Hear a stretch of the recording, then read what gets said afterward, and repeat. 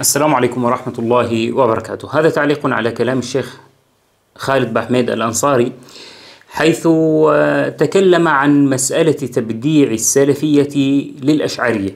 سأعلق على كلامه وهناك كلام آخر له سأعلق عليه في موضع آخر بإذن الله تعالى. نأتي إلى السلفيين اليوم نسألهم هل الأشاعرة مبتدعة؟ لا يترددون. الأشاعرة مبتدعة. هذا صحيح. هذه الجزئية صحيحة. لماذا لا يترددون؟ نشأوا على هذا. هذا الكلام غلط.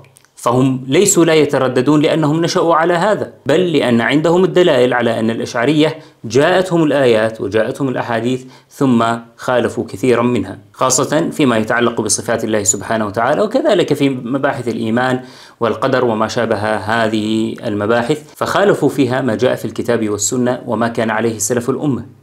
فليس القضية نشأوا على هذا نسألهم هل هم لم يدخلوا في دائرة أهل السنة أو دخلوا وأخرجوا السؤال هذا لا أرى أن له منفعة دخلوا وأخرجوا ما معنى ذلك؟ هل أنت تتكلم عن شخص صار سنيا ثم رجع أشعريا؟ هذا السؤال بنفسه غير واضح هنا سيختلفون لأنهم ليس عندهم تأصيل. بعض لا الحمد لله عندنا تأصيل. والأصل أنهم طالما أنهم لم يلتزموا الأصول السنية ولم يتبعوا سنة النبي صلى الله عليه وسلم كما اتبعها الصحابة والتابعون وأتباع التابعين فهم ليسوا من أهل السنة هم خارجون عن السنة.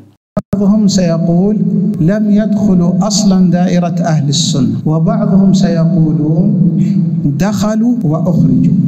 أنا لا أعرف هذا الذي يقول دخلوا وأخرجوا ليتك توضح لنا من هو؟ تسأل الأوائل. إذا لم يدخلوا دائرة أهل السنة إذا هناك ضابط لمن؟ للسني. من خلال هذا الضابط نعرف أنهم لم يدخلوا دائرة أهل السنة. هذا صحيح ويوجد ضابط للسني بحمد الله سبحانه وتعالى فما هو ضابط السني؟ سأجيبك بإذن الله بعد أن تذكر لنا الإجابات الافتراضية التي تقول إنهم سيجيبون به ماذا يقول لك؟ يقول معروف طيب ما هو هذا الضابط المعروف بعد أن يفكر يقول هو الذي يوافق أصول أهل السنة المسلم يدخل الإسلام بأصل واحد وهو الشهادتان ولو خالف بقية الأصول والسني لا يدخل إلا أن يوافق الأصول كلها. المثال الذي ذكره لا ينطبق على المسألة أبدا. هو يتكلم عن الذي يدخل في الإسلام أنه يدخل بشهادة أن لا إله إلا الله وأن محمد رسول الله.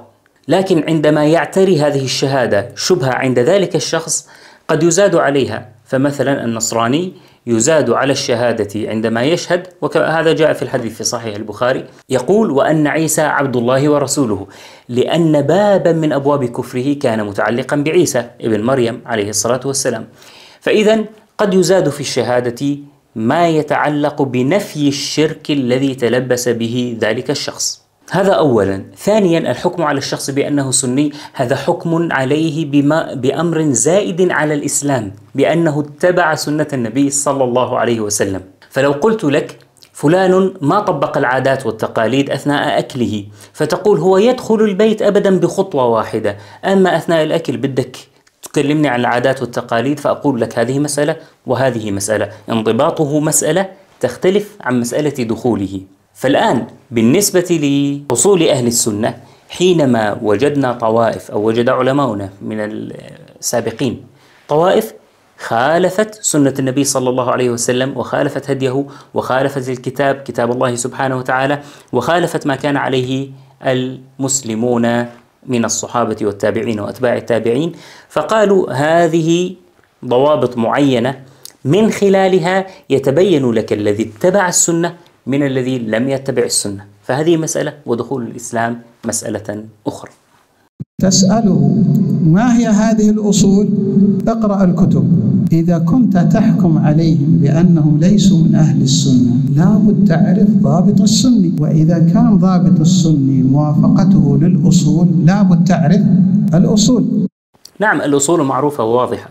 قد تكون أنت التقيت بشخص لا يحفظها ويستطيع بحفظ أن يسردها لك سردا فأحالك إلى متن من المتون التي ضبطت لنا أصول أهل السنة مثل أصول السنة للإمام أحمد أصول السنة لعلي بن المديني اعتقاد السلف الذي كتبه الرازيان أصول السنة للإمام الحميدي.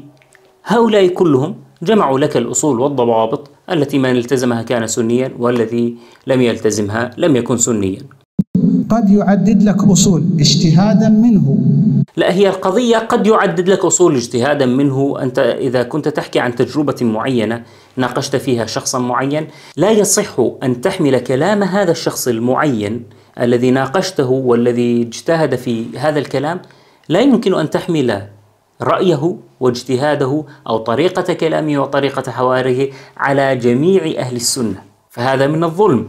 فالأصول التي هي أصول أهل السنة ليست اجتهادا من شخص بل كتب فيها علماء كثر. فتجد أن جميع الذين كتبوا فيها متوافقون متفقون إلا في بعض الجزئيات. وهذه الجزئيات في بعض الأحيان يسوغ فيها الخلاف فلا يخرج مخالفها من كونه من أهل السنة. لكن في مجمل ما كتبه أهل العلم في هذا الباب هي أصول متفق عليها عند السلف وليست أصول اجتهد فيها شخص. ف يعني التجربة الخاصة يرجى عدم تعميمها. فتقول له هذا يقتضي أننا لا نحكم لأحد بأنه سني حتى نتأكد أنه موافق للأصول. قل لي أنت من شيخك في هذا الزمن الذي تثق بكلامه؟ الشيخ فلان. هل هو سني؟ أكيد. كيف عرف؟ وافق أصول أهل السنة؟ هل استقرأت كلامه؟ لا. إذا يلزمك أن لا تجعل شيخك سني. وكل الناس هنا وكل العوام لا تجعلهم سنيين. حتى نتأكد هل وافقوا الأصول أم لا. من الأدلة كان الأولى أن لا تقول هذا لازم الكلام. الأولى أن تقول هذا رأيي أو هذا ظني. فنحن نبين بإذن الله الخطأ في هذا الكلام. الخطأ بارك الله فيك أنك لم تفرق بين الحكم على الطائفة وبين الحكم على الشخص.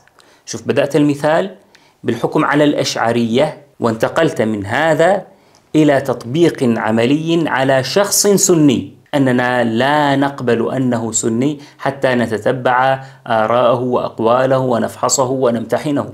ولم تفرق بين الحكم على المتعلمين والحكم على العوام. أيضا هذا فيه فرق. فهذه الأصول هي الأصول الضابطة لمنهاج أهل السنة. نعم. ولكن قد يكون بعض العوام إذا أردنا أن نتكلم عن عوام قد يكون بعض العوام أساسا ما درسها الأصل عندنا في الناس السلامة إلا في حالة الشك. يعني إذا ذهبت إلى أرض شيعية إلى مدينة شيعية أكيد لن تقول الأصل في الناس السلامة وإنما ستقول الأصل بهم أنهم شيعية أنهم من الشيعة. لكن إذا ذهبت إلى أرض فيها المسلمون فيها أهل السنة فعند ذلك الأصل فيه أنه سني حتى يبدو لك خلاف ذلك لأننا لا نقول بمبدأ أن الأصل فيه البدعة حتى نمتحنه ونثبت أنه من أهل السنة. لكن إذا كان هو أساسا منتمي إلى طائفة بدعية فأكيد هو مبتدع. لأنه هو منتمي لهذه الطائفة فأخذ حكمها. فلا أحتاج إلى أن أتتبعه وأن أفحصه. وكذلك السني الذي ينتمي لأهل السنة ويعظم أئمة أهل السنة ويدرس كتب أهل السنة ويدرس كتب أهل السنة أنا لا أحتاج إلى أن أتتبعه حتى أحكم عليه. فالأصل فيه أنه سني حتى يبدو منه مخالفة لأهل السنة وهذه المخالفات على درجات والتعامل مع المخالف فيها له أيضا درجات وله فيه وهناك منهجية معينة للتعامل مع السني المخطئ الذي خالف فمثالك بارك الله فيك مختلف جدا يعني لا أدري ما الشخص الذي يعني التقيت به وناقشته وخرجت بهذا الكلام الذي أعممته على الجميع. من الأدلة على بطلان هذا الضابط أن هذا يقتضي التثبت اولا. هو يقتضي عندك التثبت اولا، يعني الآن إذا أردنا أن نتكلم عن من هو المسلم؟ متى يخرج الإنسان من الإسلام؟ يخرج من الإسلام إذا اعتقد بأن نبيا من الأنبياء كان كاذبا إذا اعتقد بأن القرآن محرفا إذا اعتقد بأن القرآن كلام البشر إذا اعتقد بأنه لا يوجد بعث بعد الموت كل هذه إذا اعتقد بواحدة منها وهناك أشياء كثيرة لا تحصى إذا اعتقد بواحدة منها يخرج من الإسلام. ولا إخالك تخالفني في واحدة من هذه التي قلتها أن من خالف فيها يخرج من الإسلام. فهل أنت لا تحكم على الإنسان بأنه مسلم حتى تفحصه وتمتحنه في هذه الأمور؟ ما أتوقع ذلك إلا في حالة الشك. فكذلك بالنسبة للحكم على الإنسان بأنه سني. وهذا لم يعمل به أحد. لا يوجد في أي زمن من الأزمان لا يحكم على الناس بأنهم سنيون حتى نتثبت. لا. المشكلة أين؟ المشكلة أن هذا الكلام هو إلزام انت اتيت به من عندك. وهذا الذي أتيت به من عندك قلت إنه ما عمل به السابقون وبالتالي هو غلط وبالتالي كلامكم غلط. لا هو إلزامك هذا بنفسه هو الغلط وليس كلامنا. لا يوجد هذا. من هنا ندرك أن السلفيين المعاصرين علمهم مبني على التقليد وليس مبني على التأصيل. بحمد الله نحن عندنا تقليد فنقلد السلف ولا نخالفهم كما خالفتهم الأشعرية الذين أنت تدافع عنهم. ومع ذلك فإن عندنا تأصيل لهذه المسائل بحمد الله سبحانه وتعالى فنحن أخذناها تقليدا وعلما وعقلا وفهما ودراسة. بحمد الله. أسأل الله أن يهديك والسلام عليكم.